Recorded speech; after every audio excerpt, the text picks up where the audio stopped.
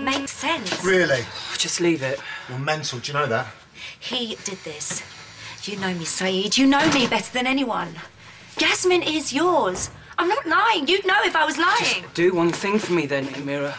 Let's be certain. How can you be so sure you can trust him?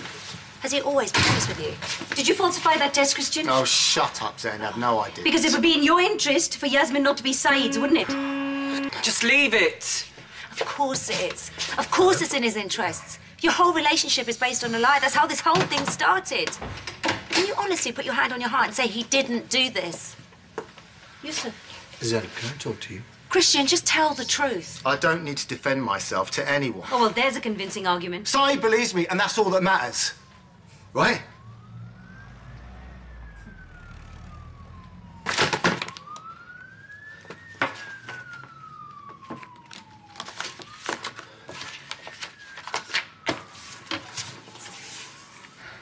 I love him. Now, I know that really hurts you to hear that, but I do. I love him.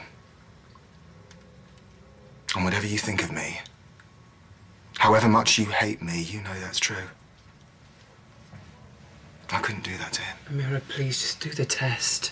My word should be enough. Well, it isn't. I'm not doing it. Anyone would think you had something to hide, Amira. Amira! Amira, come on. Please just leave us alone. You were the only one with access to those tests, Christian. No, not the only one. So did he.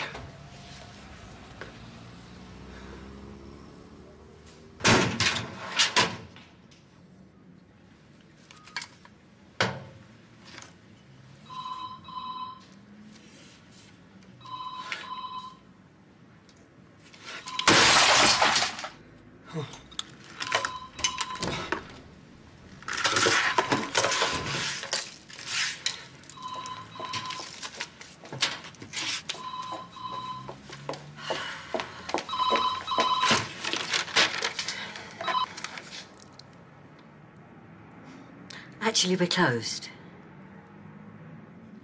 Okay, I'll check.